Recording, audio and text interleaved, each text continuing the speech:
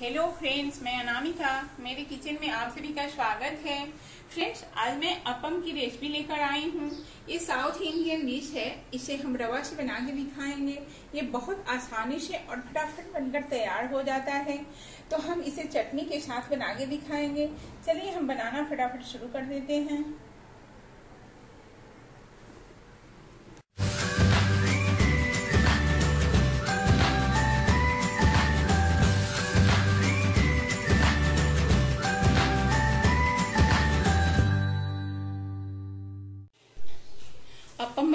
लिए हमने लिया है एक कटोरी रवा। रवा से आधा हम दही लिए हैं, यानी कि एक छोटी कटोरी दही, एक चम्मच शक्कर, एक चम्मच नमक, इनो फ़ूड सॉल्ट और ज़रूरत के अनुसार पानी। तो चलिए हम फटाफट बेटर बना लेते हैं। यहाँ पे हमने एक मीडियम साइज़ वाला मिक्सर जार ले रखा है। इसमें हम डाल देंगे अपने रवा को। अब हम इसमें डालेंगे दही। अगर आपकी दही ताजी है तो आधा डालिए। खट्टी है तो वन फोर्थ डालिए। नहीं तो अपम खट्टा हो जाता है। साथ में हम डाल देंगे नमक। नमक अपने स्वाद के अनुसार डालिए। और शक्कर। अब हम इसमें डालेंगे पानी।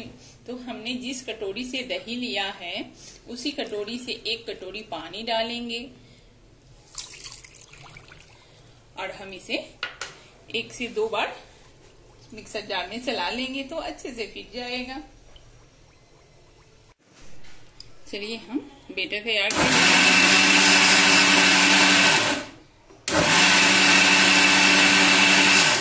हमने दो बार मिक्सर को बंद करके, चालू करके बेटर तैयार किया है। आप देख सकते हैं अपनी बेटर कैसी तैयार हुई है। तो इसकी कंसिस्टेंसी देखिए। ऐसी ही कंसिस्टेंसी चाहिए हमें अपम बनाने के लिए बेटर की। तो चलिए हम इसे एक बोल में ट्रांसफ़र कर ले रहे हैं। तो आप देख सकते हैं कितनी बढ़िया अपनी अपम के लिए बेटर तैयार हुआ है। अब हम इसे कवर करके 10 मिनट के लिए छोड़ देंगे। तब तक अपनी बेटर सेट हो जाएगी। इतने में हम फटाफट अपम के लिए चटनी बना लेंगे। अपम के लिए चटनी बनाने के लिए हमने लिया है एक बॉल मूंगफली, जिसे हमने रोस्ट करके छिलके हटा के साफ़ कर लिए हैं। एक छोटा टुकड़ा अदरक का पाँच छह हरी मिर्च चार कली लहसुन की थोड़ा सा नींबू और नमक। अब हम एक मिक्सर जार ले लेंगे। तो यहाँ पे हमने छोटा वाला मिक्सर जार लिया है, इसे चटनी जार भी बोलते हैं। उसमें हम मिर्ची डाल देंगे, अदरक डाल देंगे, लहसुन डाल देंगे और ये रोस्ट किया हुआ मूंगफली, ये चटनी बनाना बहुत ही आसान होता है, पर खाने में बहुत ही टेस्टी लगता है। स्वाद के अनुसार हम नमक डाल लेंगे। एक बार हम इसे ड्राई फ़िश लेंगे, फिर पानी डाल के पीस के आपको दिखाएँगे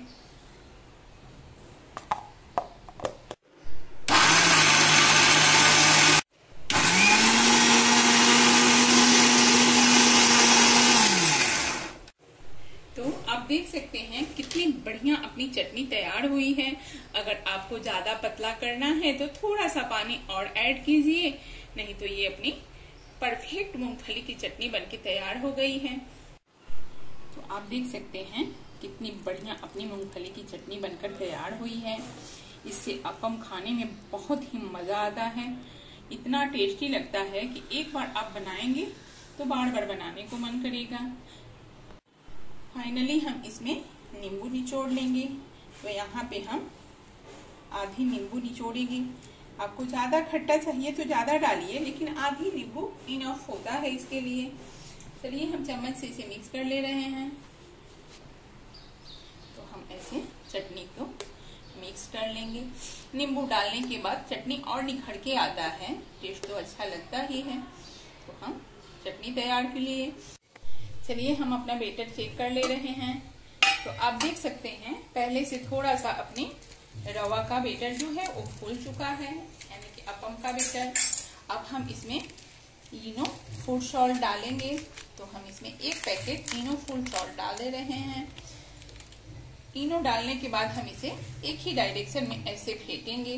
तो आप देखेंगे कि इसमें बहुत सारा झाग जैसा उठेगा, यानी कि इसमें एयर आ जाता है। आप ध्यान से देखिए कैसे ये बबल्स भर रहे हैं।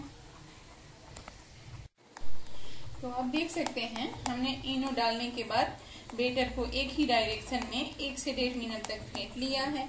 अब चलिए हम गैस की तरफ़ चलते हैं। तो फ्रेंड्स, हमने गैस पे एक फ्राई पैन रख लिया है।